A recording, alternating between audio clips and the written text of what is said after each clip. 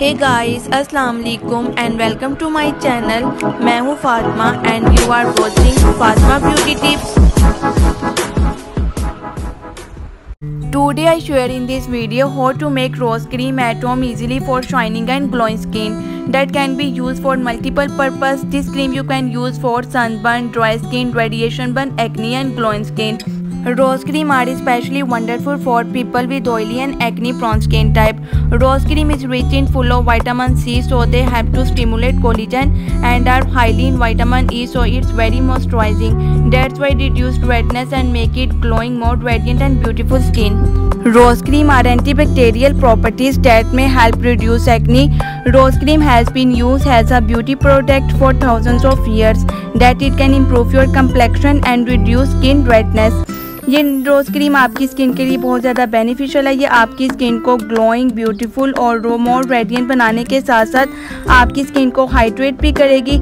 इस क्रीम की यूजिंग से हमारे फेस पर एक नेचुरल सा रेड कलर आ जाएगा, जिससे हमारा फेस और भी ज़्यादा ग्लोइंग दिखेगा। रोज़ क्रीम आपकी स्किन को लाइटन अप करती है और पिगमेंटेशन को रिमूव करती है।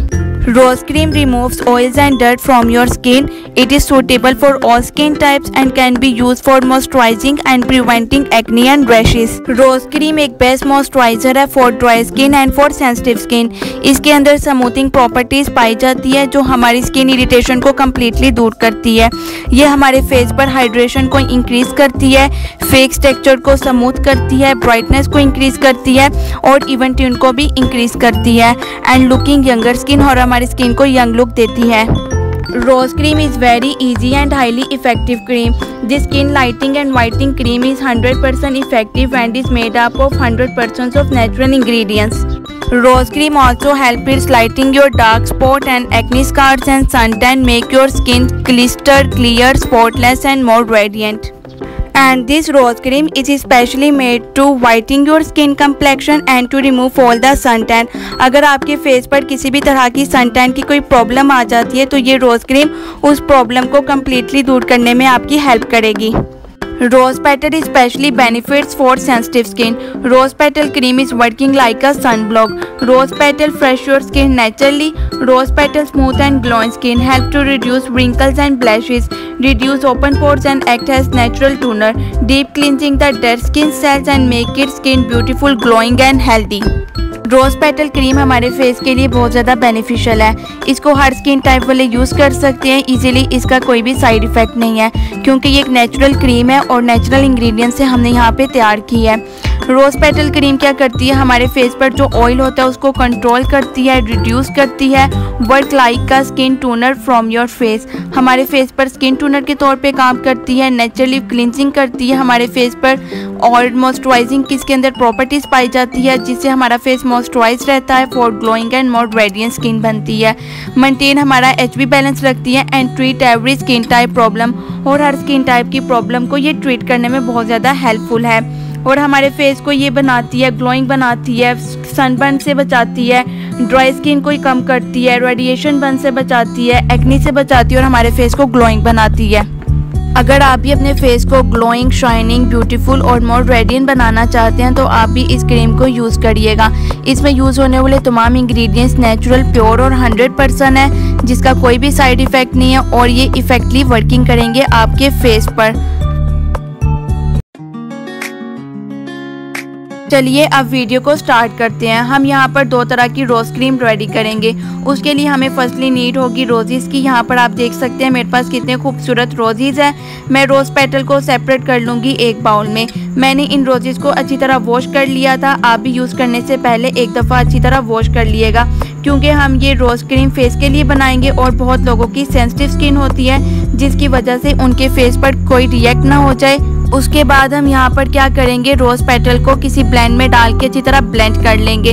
क्योंकि हमें इसका जूस चाहिए हम इसी तरह इसको शेक करके इसका जूस बना लेंगे।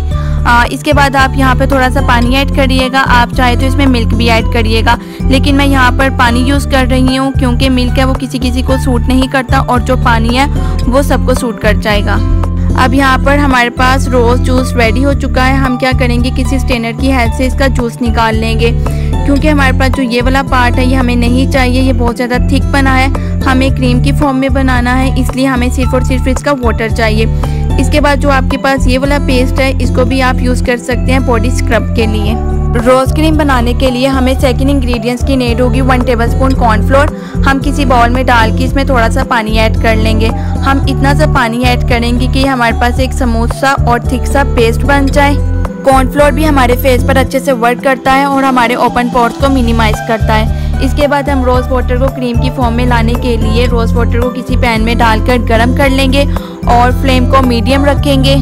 आपको ये क्रीम रेडी करना थोड़ा सा डिफ़िकल्ट लगेगा, लेकिन ये क्रीम आपकी स्किन के लिए बहुत ज़्यादा बेनिफिशियल है और इसके बहुत ज़्यादा गुड और अमेजिंग रिज़ल्ट है। मैं अपना पर्सनल ओपिनियन आपके साथ शेयर कर रही हूँ। मैं खुद इस क्रीम को यूज़ करती हूँ अपनी डेली लाइफ में और आपके साथ शेयर किया। अब यहाँ पर देख लें जो हमारे पास वाटर का कलर था, वो पिंकिश होने लग गया है। अब इसमें हम क्या करेंगे? जो हमने कॉर्नफ्लोर रेडी किया था, वो हम इसको वन टेबल स्पून ऐड करते जाएँगे और साथ में अपना स्पून हिलाते जाएँगे। अब देख लें यहाँ पे हमारे पास ये जेल की फॉर्म में आ जाएगी। टू थ्री बॉयल्स के बाद ये जेल की फॉर्म में आ जाएगी। और इसकी कंसिस्टेंसी भी थिक फॉर्म में आ गई है मीन्स के हमारी क्रीम जो है वो रेडी होना स्टार्ट हो गई है। अब हम इसकी फ्लेम को बंद कर देंगे और इसको ड्राई होने के लिए छोड़ देंगे। ये क्रीम हमारे फेस को बहुत अच्छे से मॉइस्चराइज करेगी और आप इस क्रीम को हैज़ अ सन ब्लॉक के तौर पर भी यूज़ कर सकते हैं। जिन लोगों को काफ़ी इशू रहता है, इनकी स्किन बर्न हो जाती है सन बर्न की वजह से तो वो बाहर जाने से पहले इस क्रीम को अपने फेस पर अप्लाई कर ले। उनकी सन बर्न की प्रॉब्लम भी सॉल्व आउट हो जाएगी और अगर उनकी सन बर्न की प्रॉब्लम सॉल्व आउट हो जाएगी तो उनकी स्किन के रिलेटिव काफ़ी सारी प्रॉब्लम भी सॉल्व आउट हो जाएगी।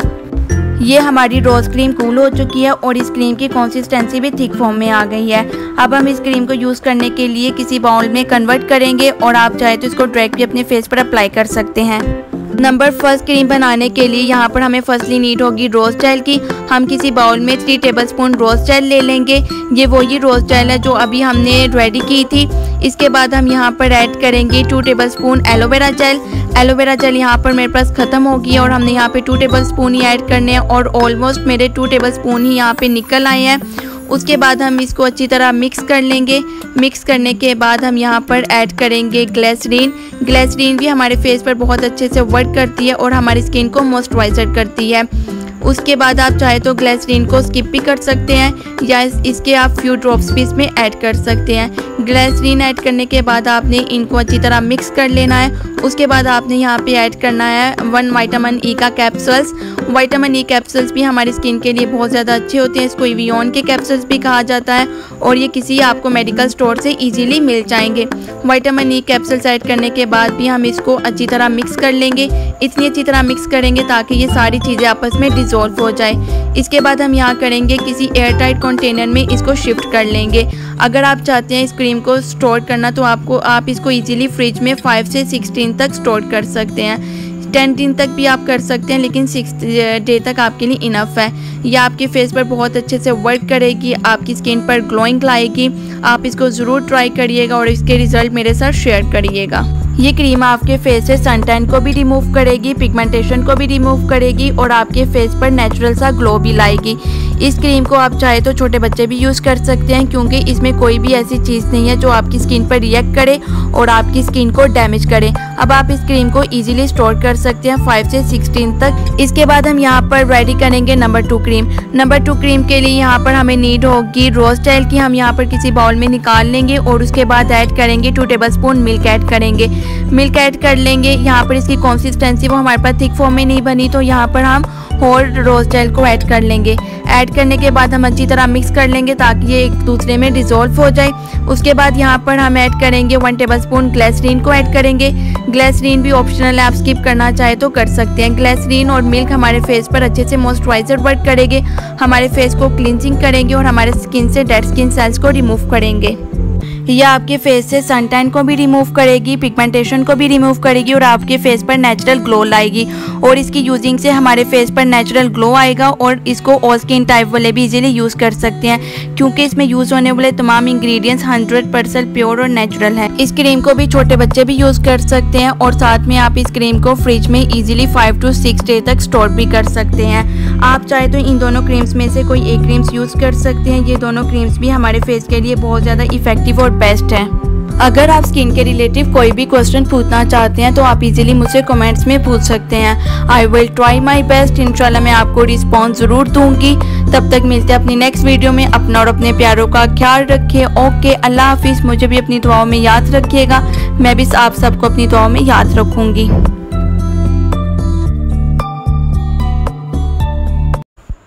If you like my video, please subscribe, likes and press the bell icon.